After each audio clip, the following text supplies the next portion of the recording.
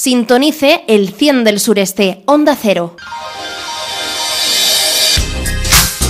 Tu centro de uñas y estética en Arganda del Rey se llama Uñas Belinda, manicuras, pedicuras, esmaltado semipermanente, uñas de gel, uñas de acrílico, mantenimiento y relleno, depilación con cera. Uñas Belinda. Cita previa en el 679 87 68 53. Apunta 679 87 68 53. Para estar linda, uñas Belinda. Este es el espacio Natalia por Arganda. Natalia pregunta, el pueblo responde. Natalia pregunta y el pueblo responde. El pueblo responde a las preguntas de Natalia Sánchez en la sección Natalia por Argandia, en la sintonía de Onda 0 100.0 de su frecuencia modulada. Con ella, queridos oyentes, la más bella, Natalia Sánchez. ¿Cómo estás, Natalie? Hola a todos, pues muy bien. ¿Estás contenta? Bueno, Pensando en el fin de semana. en el fin de semana sí, aunque todavía queda. Queda mucho para el fin de semana. Además dicen que el día 15 es fiesta. Uy, ya lo sabes tú, ¿eh? No, no, no, no, vamos- a ver. El 15 no es fiesta en Arganda del Rey. Ay, pero Arganda del Rey pertenece a Madrid, así que se pero, puede San hacer. pero no es festivo en... O sea que no hay puente. En Arganda no, pero en Madrid capital Claro, sí. ¿y tú dónde estás? Yo estoy ahora mismo aquí en Arganda. Pero entonces, no, si en Arganda, tú estás en Arganda ahora mismo, ¿no? Por lo tanto, si en Arganda no es festivo el día 15, pues Anda. no es festivo el día 15. Y punto. Y ya está, claro. Ay, Jorge, ¿Qué? tú sabes que ese día la gente va a la pradera. ¿A la pradera? Está allí. ¿A qué pradera? Pasándolo bien, a la pradera de Madrid. ¿Pero qué, qué me quieres decir? Dímelo claramente. Nada. que No, que si quieres nos vamos todos juntos a la pradera a pasar el día. Pero dímelo claramente. Que, que, que no sé cómo decirte. Qué malo que eres. Natalia pregunta y el pueblo responde. El pueblo responde a las preguntas de Natalia Sánchez. ¿Con qué pregunta nos sorprende, Natalia, que te vi en este día? Pues ya estamos en mitad de la semana y queda poco para celebrar San Isidro, como decimos, que seguro que a muchos de vosotros os gusta esta fiesta porque es muy tradicional y hay dulces muy ricos. Nosotros hoy no os vamos a hacer pensar mucho porque ya la semana hace estragos y vamos a hablar de una expresión que seguro que todos habéis oído en algún momento o incluso la habéis usado. Así que ahí va nuestra pregunta de hoy que la ha formulado nuestra compañera Estefanía Vallejo. ¿Cuál es el origen del refrán mucha mierda? Vamos a ver lo que habéis contestado. ¿Conocen la expresión mucha mierda? Sí, me suena. ¿Le suena? ¿Y qué puede querer decir? Es lo que se dice a los actores que van a ser en el teatro, ¿no? Dentro del ámbito del teatro. ¿Y la conoce de alguna otra forma? ¿Se la suele decir a alguien o Eh, no, es para expresar suerte, no. no se la ha dicho a algún compañero de trabajo, algún amigo? Quizá en alguna ocasión, pero no es habitual. ¿Y usted conoce lo que significa la expresión? Pues digo lo mismo que este señor. ¿Y la ha empleado alguna vez por algún compañero, un amigo? Pues no. ¿Sabes lo que quiere decir mucha mierda? Sí, mucha suerte, ¿no? ¿Y crees que está metida en un tipo de ámbito, algún, metido en un círculo, algún tipo de teatro? ¿Dónde se suele decir más? Eh, sí, en la zona artística, ¿no? En el teatro, en la danza.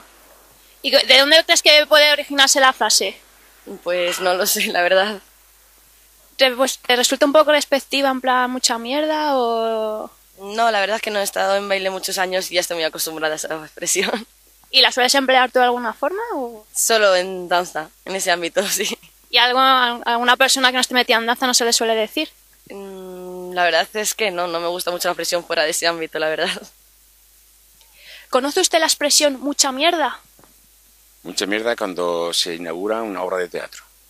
¿Y alguna vez la ha empleado usted para decírselo a alguna persona? Sí, cuando, por ejemplo, cuando se ha ido al baile o se ha ido a una actuación de teatro, cuando presentamos aquí el, el motín de Arganda, sí se dice mucha mierda. ¿Y qué quiere decir en realidad mucha mierda cuando se le dice a alguien? ¿Le desea algo o...? Mucha mierda viene de cuando se... Antiguamente en los teatros se iba a caballo. Y había mucha mierda porque dejaban los caballos, las mierdas, en la puerta de los teatros.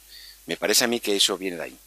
Y pero es para desear algún tipo de buena suerte a las personas. ¿no? Suerte a lo que están actuando. ¿Conoce usted la expresión mucha mierda? Mucha mierda, sí. sí. ¿Y qué quiere decir la expresión? Que hay mucha mierda. Que está muy sucio todo, ¿no? Efectivamente. Que está súper sucio. Pero en todos los aspectos. ¿Y alguna forma que quiera decir, o sea, que quiera decir otro tipo de significado de la frase, no lo conoce? Yo qué sé. Ah, Espera que... ¿Conoce usted la expresión mucha mierda? Eso no es habitual, pero sí que se dice, sí. ¿Y para qué se suele decir? Pues para cuando hay pues mucha mierda, para cuando hay un- una cosa que no va bien y que hay mucha corrupción y que hay mucho ladrón y que las cosas no van bien y ya está. ¿Y conoce usted otro significado de la propia frase? Otro significado, Y que se le desea a alguien mucha mierda. ¿Qué cree que quiere decir? Pues porque hay mucha mierda sobre alrededor en donde nos encontramos, en, en los sitios, pero no por la porquería, no por la caca, sino porque está todo mal. O sea, Esa es mi expresión. Bueno, bueno, muy bien la mayoría, ¿eh? Si es que sé yo que en el sureste nos gusta mucho usar los refranes, porque son muy prácticos y vienen al pelo en muchas situaciones. Por eso casi todos le habéis oído en muchos momentos, pero de su origen, que es muy curioso, no todos me habéis podido decir algo, aunque algunos sí que os habéis acercado un poquito. Pero vamos por el principio, y es que esta expresión se usa para desearle a alguien suerte en algo. Y aunque siempre se ha utilizado mucho en los ámbitos teatrales, también se ha extendido su uso fuera de ese ámbito. En cuanto a su origen, hay dos posibles teorías, aunque muy parecidas.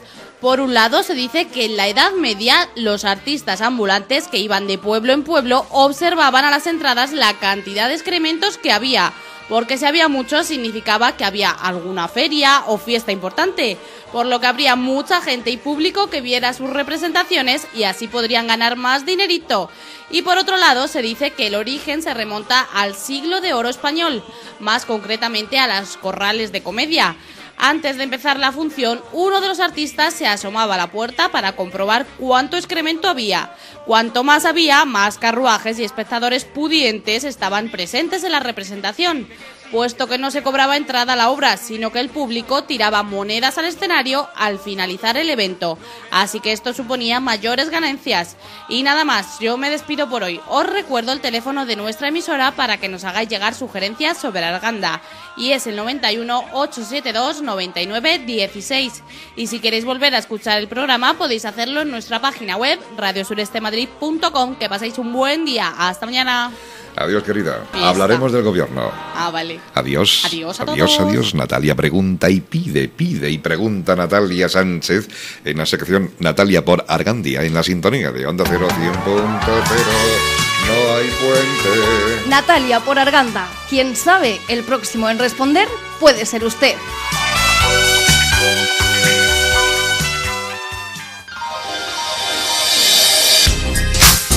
Tu centro de uñas y estética en Arganda del Rey se llama Uñas Belinda. Manicuras, pedicuras, esmaltado semipermanente, uñas de gel, uñas de acrílico, mantenimiento y relleno, depilación con cera. Uñas Belinda. Cita previa en el 679 87 68 53. Apunta 679 87 68 53. Para estar linda, uñas Belinda. Onda Cero, el 100 del sureste.